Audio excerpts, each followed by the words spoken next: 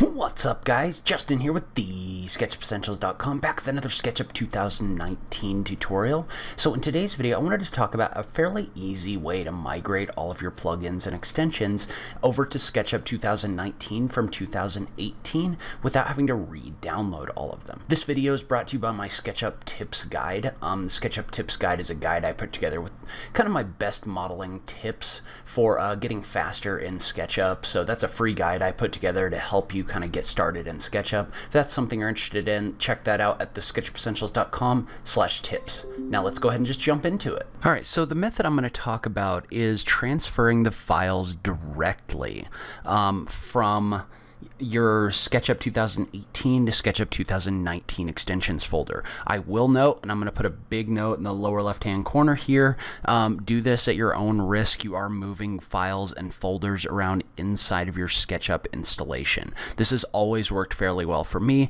but if you're not super comfortable moving files around um, inside of Windows Explorer, you may want to find a different solution. And in fact, I'll give you one real quick. So if you go to Window extension warehouse inside of SketchUp, you can actually click on this button right here and uh, what that's going to do is that's going to take you to your profile where you can see a list of the extensions that you have installed. So you can just re-download all of your extensions if you want to do that. That's not really an option for me because I have really slow internet and it would take forever to do this. So I had to kind of find a workaround. But if you're not comfortable moving a bunch of files around, just go into the, and you can see how slow this is going um, because of my internet connection.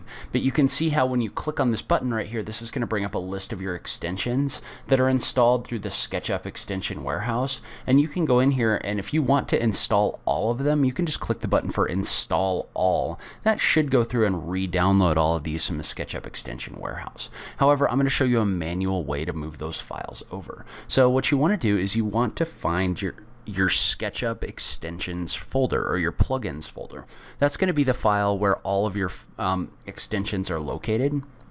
And so usually where that's going to be located, unless you have a custom folder, is that's going to be in your users and then your username and then app data, roaming, SketchUp, SketchUp 2019, and then SketchUp plugin. So if I was to go up in this folder, you can see how my app data and roaming folder is going to contain data for SketchUp 2017, 18, 19, whichever one of these you have installed. Well, what you can do is I'm going to go inside the SketchUp 2018 folder, for example, and uh, you can see how when I do that, there's a SketchUp folder and then there's a plugins folder.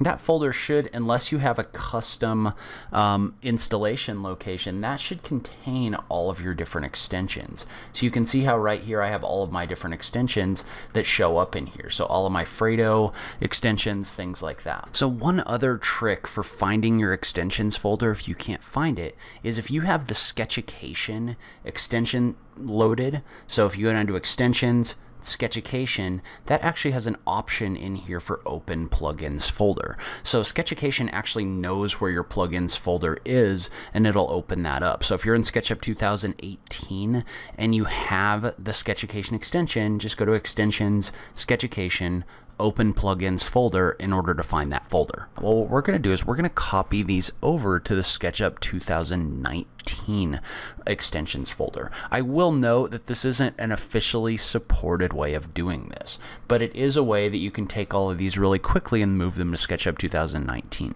I would recommend that you make a backup of all of these before you do this in case you accidentally change something um, because you don't want to lose all of this stuff. Though usually you can go re-download these. It's a lot easier if you have a backup. And so the way that we're going to do this, or the way that SketchUp looks at this folder, is it goes in this folder and it finds all of these different Ruby script files when it loads up, and it loads them on your computer. Um, or it loads them as it boots up inside of SketchUp. And so what we're going to do is we're going to take these Ruby script files and we're going to copy them over. So we're just going to take everything in this folder. So I'm just going to do a control A and again make a backup before you do this. I'm not responsible if you lose anything on your computer. You need to be careful when you're doing this. Um, so do this at your own risk. But what I'm going to do is I'm just going to right click on all of these and I'm going to go ahead and duplicate this folder first. And so one other thing about this before we do this is you may have to turn on show hidden files um, in order for this to work. So like for example, if you go in your if for whatever reason you go in here and you're not seeing files, you can just go to view and check the box for hidden items. When you check the box for hidden items, then everything that's in that folder should show up. And so what I'm going to do is I'm going to open up one window to the left that is my SketchUp 2018 folder. I'm going to open up another window to the right that's going to be my SketchUp 2019 folder. And what I'm going to do is I'm just going to go in here and I'm just going to hit a Control A to copy everything. And then I'm just going to do a Control C to copy these, or you can right click and click on copy. And then I'm going to right click in my SketchUp 2019 plugins folder and click paste. And before I do that, I'm going to close out of SketchUp 2019.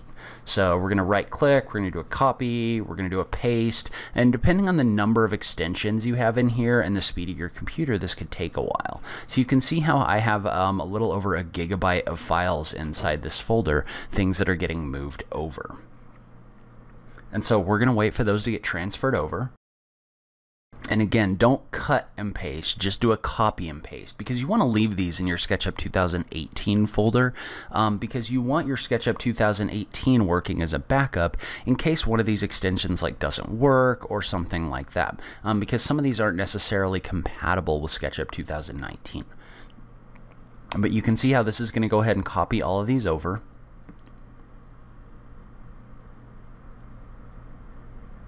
And then in this case, it's telling me it has 359 files with the same names. So usually this is your Trimble Connect stuff and your uh, sandbox tools, the things that come loaded with SketchUp.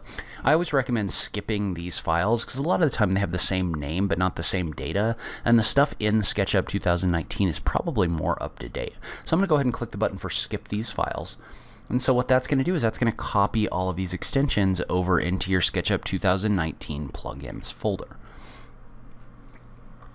So now that we've copied all this over into your SketchUp 2019 folder, we can go open SketchUp 2019. And so that's something that can get a little interesting when you first do this.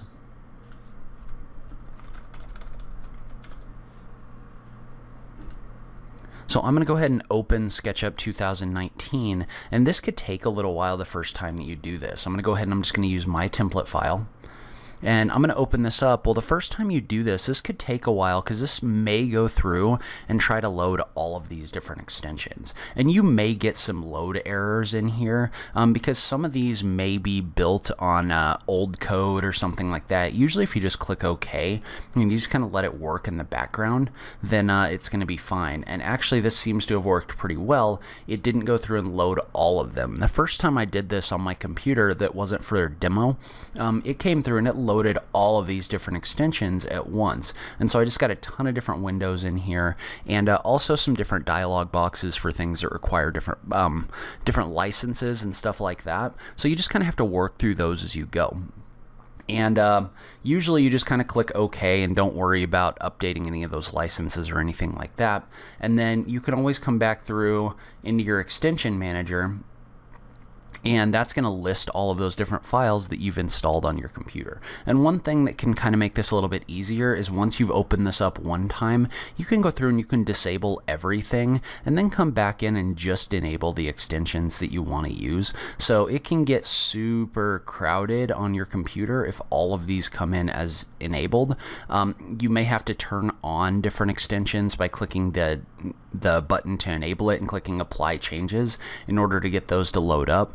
Um, and honestly, some of these extensions may not work 100% in the new version. So you may have to go back through and um, uninstall them. So moving to a new version is always interesting because the extensions are third party um, files.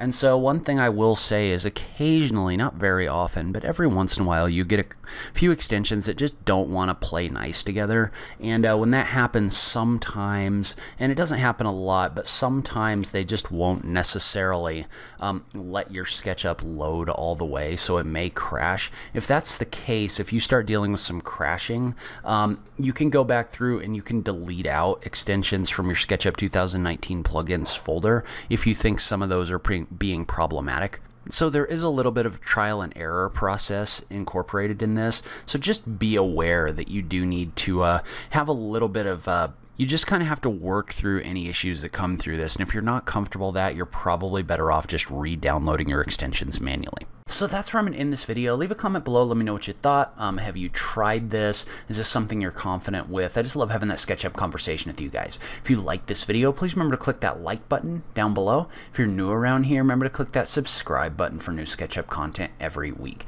If you like what I'm doing on this channel, please consider supporting me on Patreon.